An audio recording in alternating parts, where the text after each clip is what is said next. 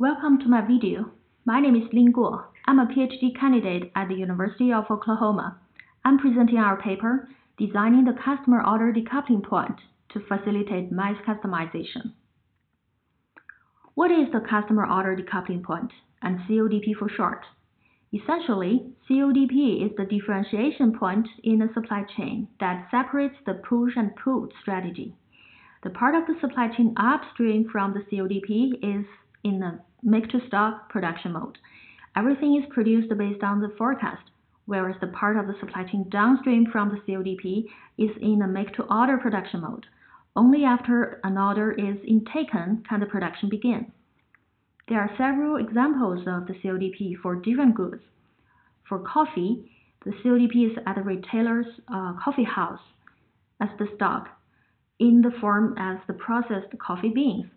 When a customer orders a certain type of coffee, the coffee maker at the coffee house starts making it.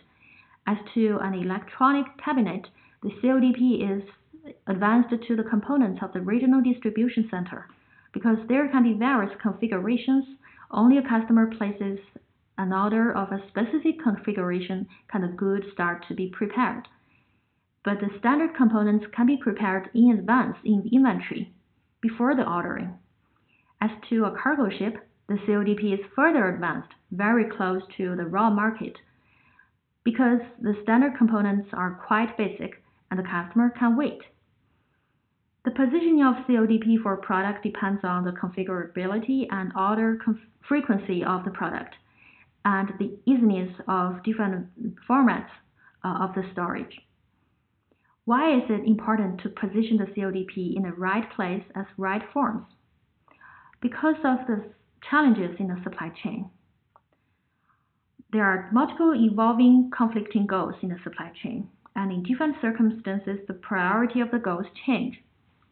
Another challenge is the multiple types of uncertainty we need to manage. As any complex system, a supply chain encounters four types of uncertainty. First two types are the variation in parameters and variables, which in the supply chain is the uncertainty in demand side and supply side.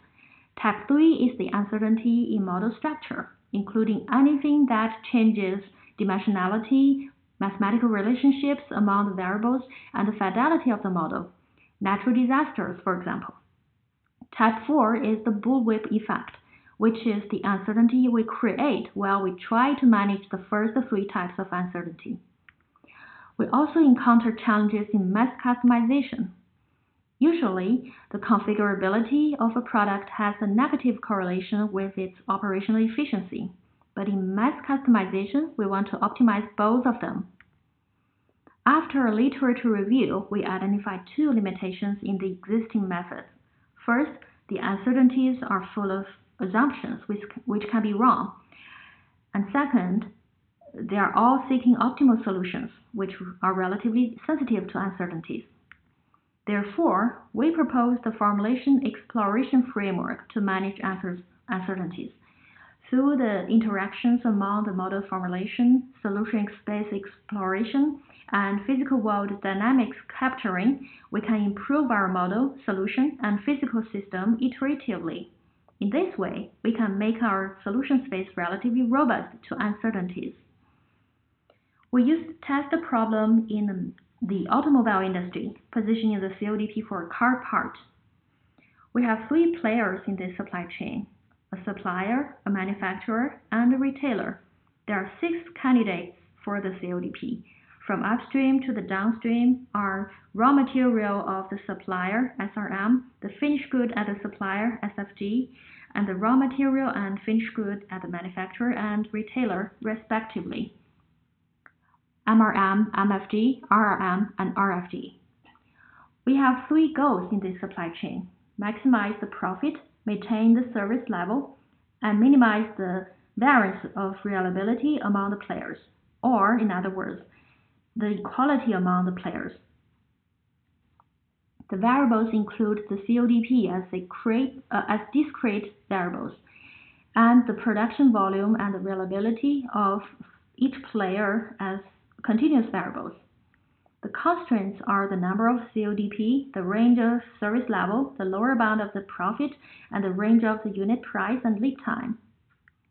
We implement the model on, uh, on DSIDES. And here are the goals, the constraints, and the variables. Here's our result in each iteration.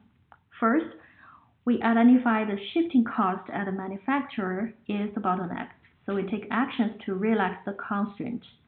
Then, we identify the holding cost at the manufacturer becomes the next bottleneck, so we take actions to reduce it. The next bottleneck is the transportation cost from the manufacturer to the retailer, so we address it accordingly, so on and so forth.